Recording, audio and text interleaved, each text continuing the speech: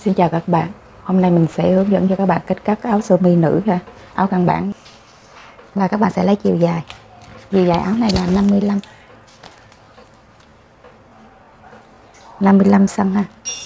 Các bạn cộng cho 2 cm sa vạt Là 57 cm là cái đường dưới này. Các bạn sẽ Vẽ một đường vuông góc qua ha. Hai đường như thế này. Xong rồi các bạn sẽ lấy cho mình Từ biên vải này vào 3 cm rưỡi. Đây là đường nẹp ha và đường đinh nút. Từ đường này vào đây đường đinh nút là 1,25 tại vì nẹp áo nữ là 2 cm rưỡi thì mình lấy 1 phần 2 nẹp là 1 cm 25 nha. Các bạn sẽ vẽ một đường cho mình này.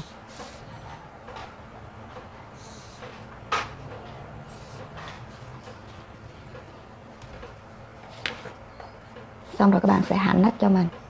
Hạ nách ngực 90 ha. Tiếp theo là cái phần hạ nách nha. Các bạn sẽ ứng cho mình. Ngực chia 5 cộng 1 ha. Ngực 90 chia 5 là 18 cộng 1 là 19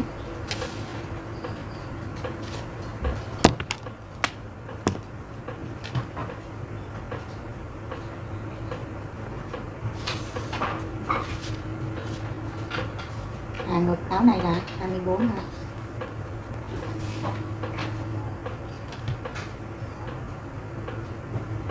đây là phần hạ ngực hạ eo 36 hạ eo thì các bạn sẽ đo lên khách hàng của mình ha và phần mông thì các bạn, áo này ngắn đi 18 cm phần mông ha. Và bây giờ mình sẽ tính phần vai con. Vai con 36 vai con 36 là 18 1 phần 2 vai ha, là 18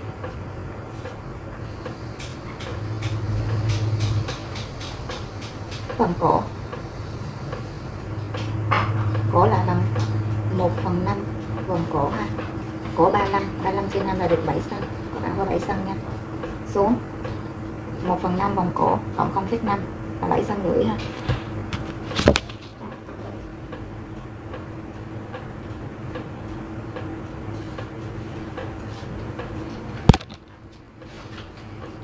xuôi vai xuôi vai là bằng 1 phần 10 vai cộng 0,5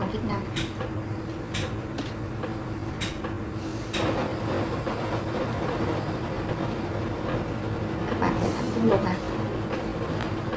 các bạn lùi vào mình cho 3 cm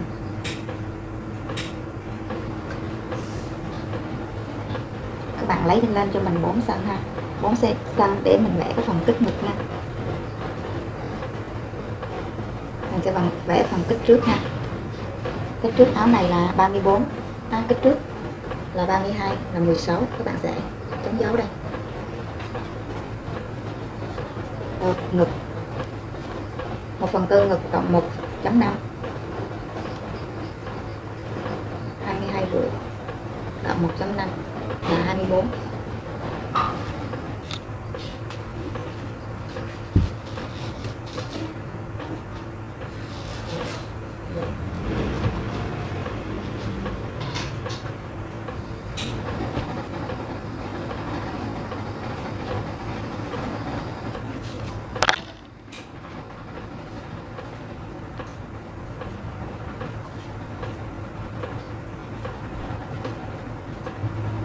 các bạn vẽ vòng nách sao cho nó qua cái điểm kích ngực trước này ha.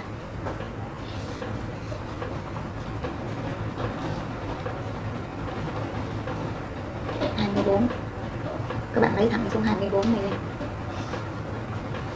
eo đặt 74 một phần tư eo 18 năm. Một phần tư eo còn 3 3 phân ha. Mông 1 phần tư mông, cộng 1 phần rưỡi. 23 này, cộng 1 phần rưỡi thôi. Là 24 rưỡi. Xong rồi các bạn sẽ nối những cái điểm này lại với nhau.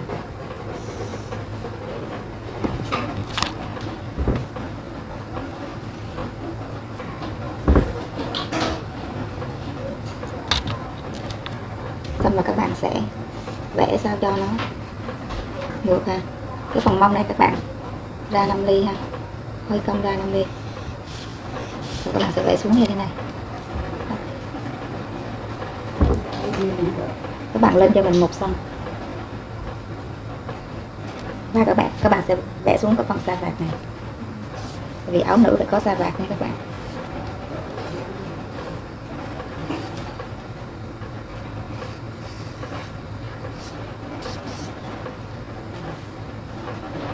Xong rồi mình sẽ lấy dấu ben ha phần 10 ngực là trứng xanh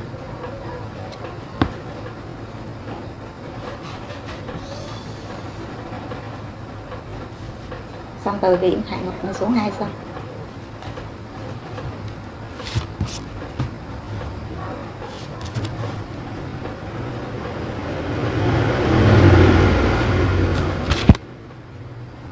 các bạn sẽ vẽ cái bên cho mình trước trước thì các bạn.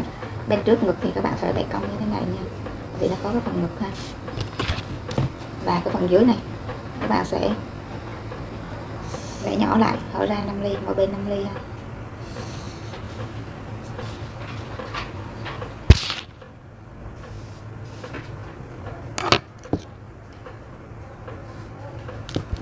Và mình sẽ cắt cái phần lai này. Các bạn may lai một sân thì các bạn sẽ chừa một sân đường may nha. Và sườn thì các bạn chừa cho mình một sân rưỡi ha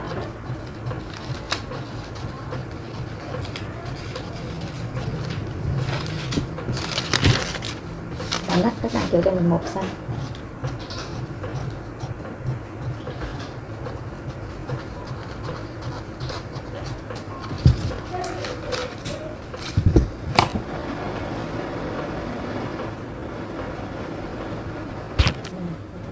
và các bạn sẽ chữa cho mình. 7 ly ha 7 ly ra cổ nha đường may nha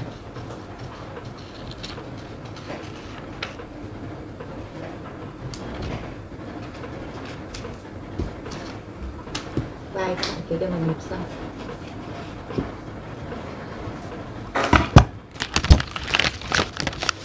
như vậy mình đã xong cái phần thân. Trước ha, các bạn sẽ gấp vào cái đường này của mình.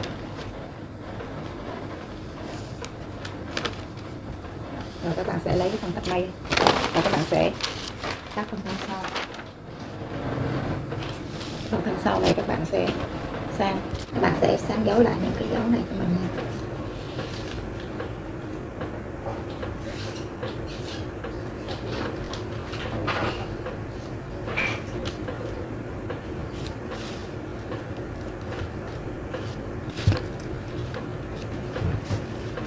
Mông này thì mình vẫn lấy cũ ha. Và phần eo cũng vậy.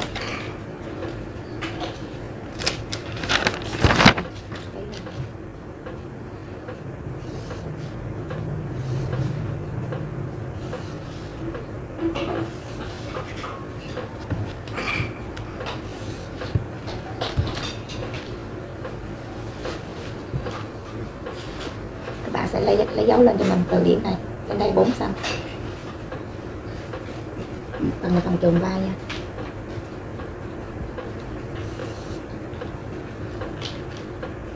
và các bạn sẽ lấy lại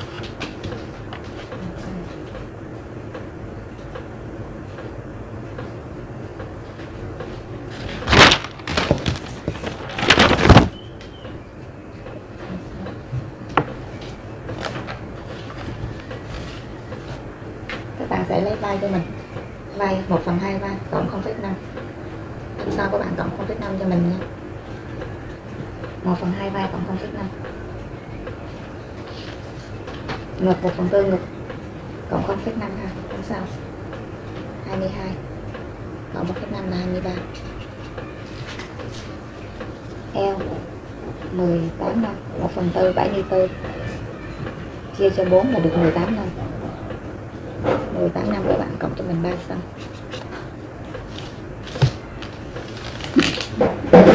và mâm thì bằng cân trước luôn ha. Các bạn 1 phần tư mâm cộng 1 cm rưỡi. 24 5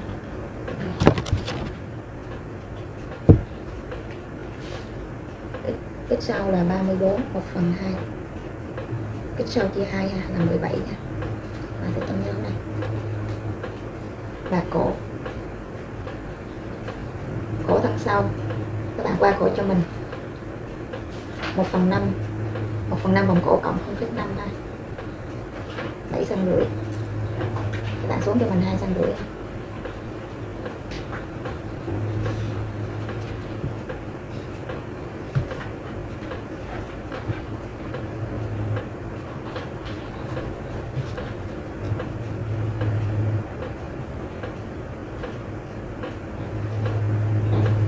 Vai thân sau. Một phần mười vai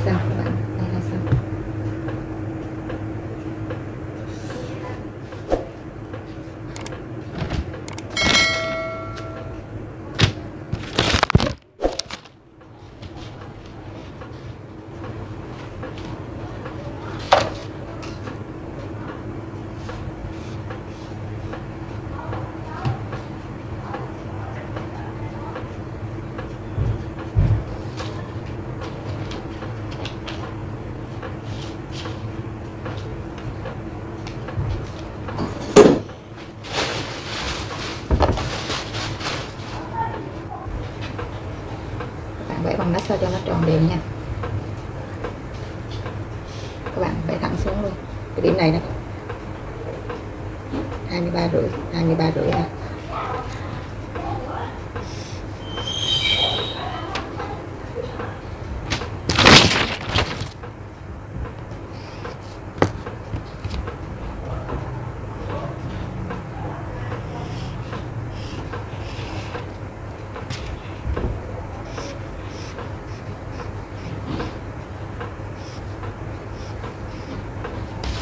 bạn lên một xong các bạn sẽ vẽ còn như thế này. Thân sau thì cũng vậy, cũng một phần mười. Ngực ha, chính xanh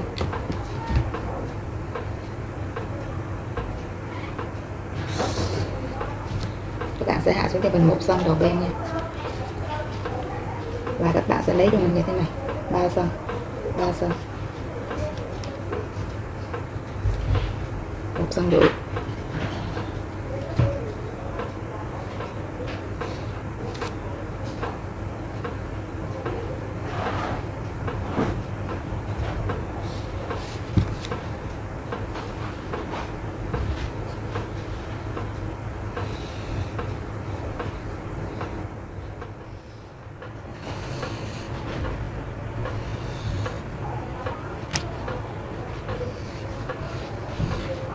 cái đằng sau nó sẽ như vậy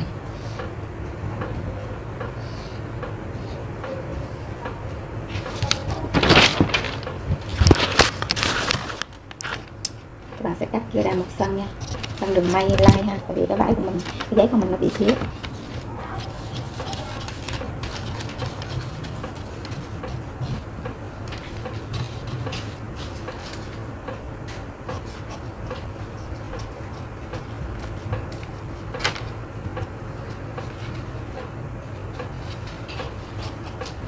Cái phần cổ này các bạn sẽ cắt xéo ra đây nha.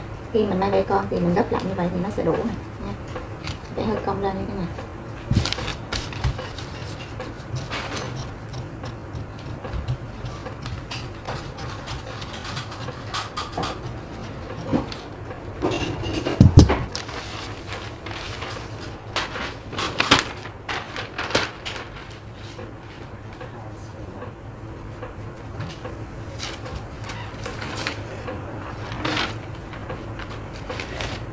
Xong rồi mình sẽ cắt tay nhé trước khi cắt tay, thì các bạn sẽ đo cái vòng nách cho mình.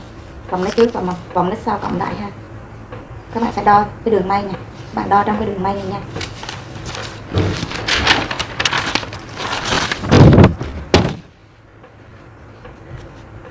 Để, các bạn để cái thước như thế này di chuyển chậm chậm ra ha. 21 xong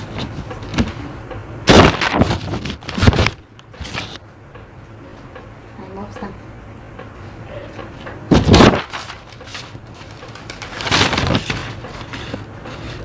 hai mốt 21 cân các bạn cộng đằng sau vào luôn ha?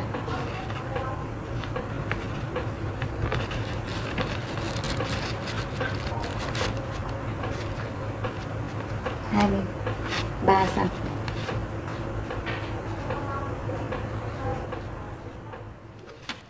tiếp theo mình sẽ hướng dẫn cho các bạn cách cắt cái tay này nha. Trước khi cắt cái tay thì các bạn sẽ đo cái vòng nách trước và vòng nách sau.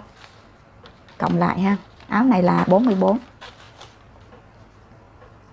44 xăng nguyên vọng ha.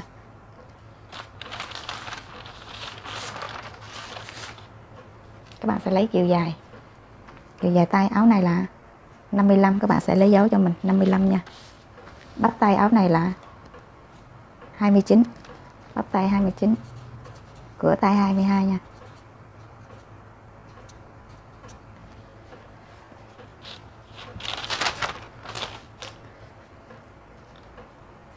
Và mình sẽ hạ cái tay này là bằng 1 phần 10 ngực.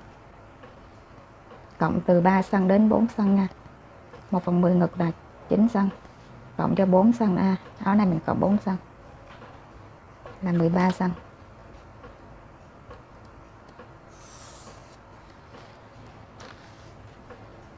Chia cái phần này cho mình.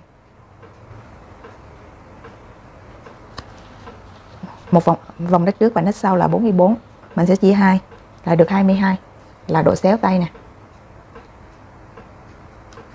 22 ha. Nó sẽ giấu đây.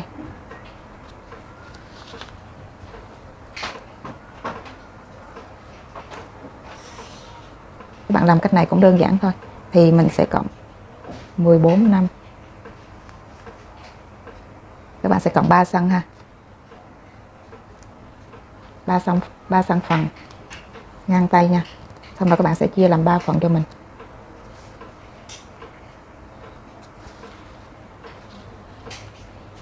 Các bạn sẽ vẽ xuống cho mình không cách năm.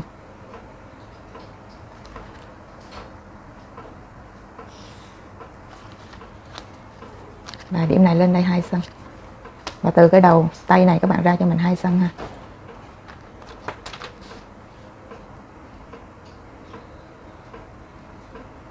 Này các bạn để yên nè. Xong các bạn sẽ vẽ như vậy là ra cái cái tay rồi ha. Các bạn nhớ là cái cái khoảng này nè. Cái độ xéo này là 1 phần 2 vòng nách nha. Nách trước, nách sau cộng lại các bạn chia hai. 1 phần 2 nách. 1 phần 2 vòng nách nè.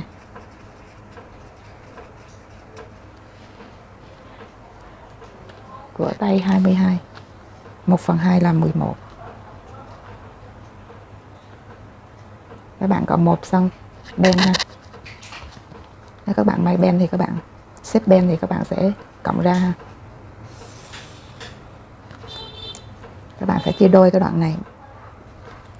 Các bạn vô cho mình một cm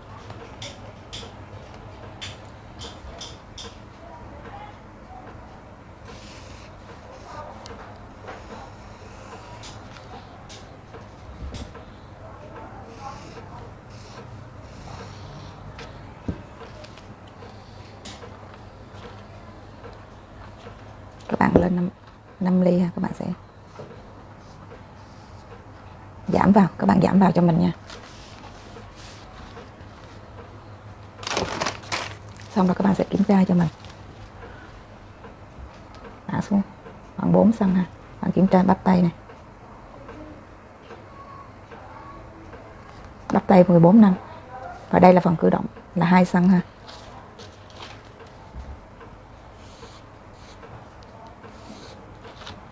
Và bạn kiểm tra cái vòng nách này như thế này. Các bạn các bạn sẽ kiểm tra cái tay nha.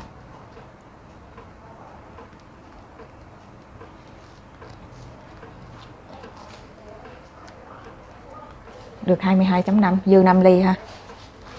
Như vậy là ok, phần dư 5 ly này các bạn ra tay nó sẽ đẹp ha. Chứ bạn không cắt bằng nha. Bắt buộc các bạn phải cắt dư hơn cái thân ha. Dư 5 ly là ok rồi các bạn phải chừa đường may cho mình. Một xăng. Và cái sườn tay này các bạn chừa cho mình một xăng rưỡi nha.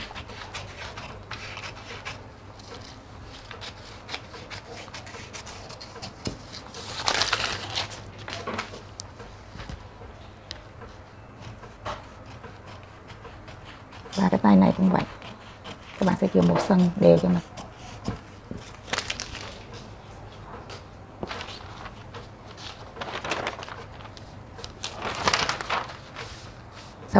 Sẽ giảm. Đây là phần đích trước ha.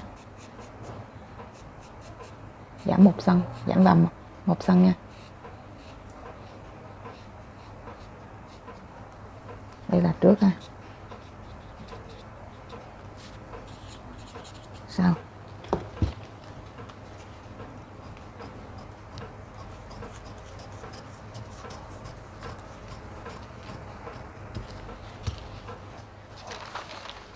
Và sau đây mình sẽ hướng dẫn cho các bạn cách đo cái cổ ha, để các bạn cắt keo, để làm cổ ha. Đây là cái nẹp ha. Đường này là đường bẻ vào nè.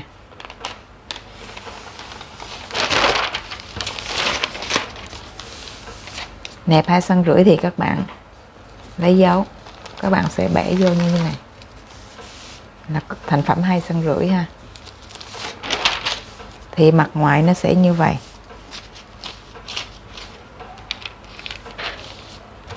Và đây là đường mình làm nút ha, làm khuy nút nha.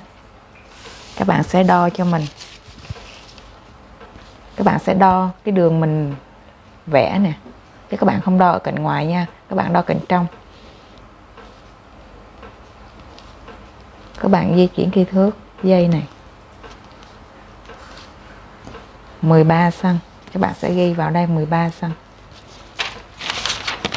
Tiếp tục thân sau. Các bạn cũng sẽ đo cái đường thành phẩm nha.